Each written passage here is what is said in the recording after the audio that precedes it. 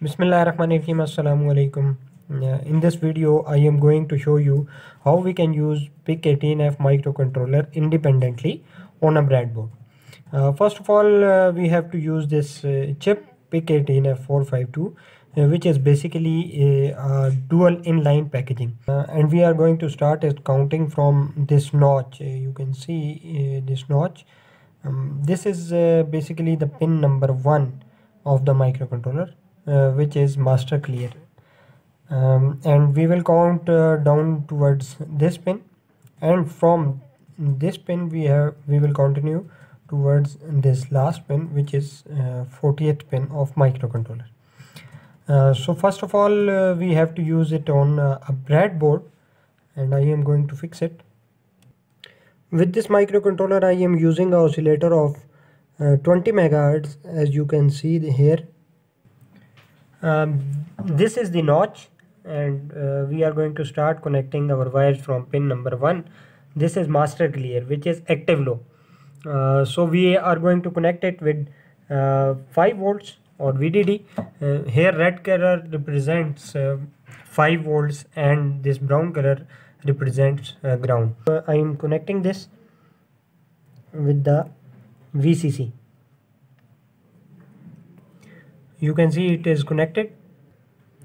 Now the next step is uh, I'm going to connect this 11 pin with the VDD uh, so I'm going to start counting. 1 2 3 4 5 6 7 8 9 10 and 11 this is the 11th pin and I am going to connect it with the source 5 volts.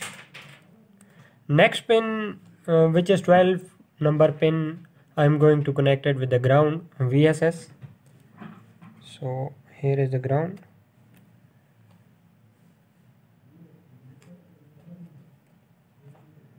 Mm, pin number 12 is connected with ground. Moving on to the next step which is uh, I'm going to connect the oscillator. This oscillator is connected with pin number 12 uh, sorry pin number 13 and 14 and this is the method I'm going to use to connect the oscillator. And the last step uh, is that I am going to connect the VCC with the uh, uh, pin number 32 and VSS with pin number 31 this is pin number 20 here. Now moving on to the next side this is pin number 21 22 23 24 25 26 27 28 29 30 and this is 31 so I am going to connect it with the ground here. I will provide ground to the breadboard. And the next pin uh, must be connected with uh, once again VDD which is pin number 32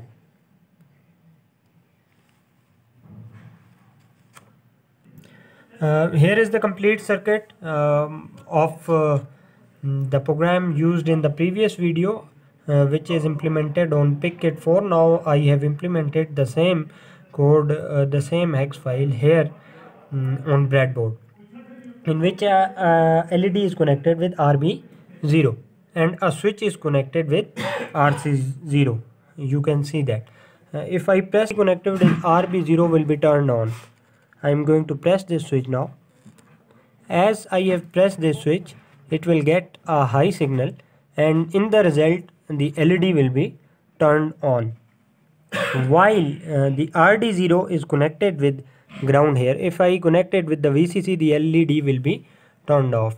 As you can see uh, the LED is turned off here hopefully uh, this is informative for you. Uh, one more thing I am going to add uh, I will like to add here is I have used a pull down resistance with the pin RC0 uh, normally it will get a low signal.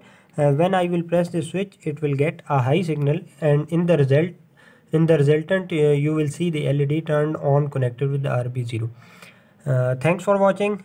Do comment if you have any queries. Allah Hafiz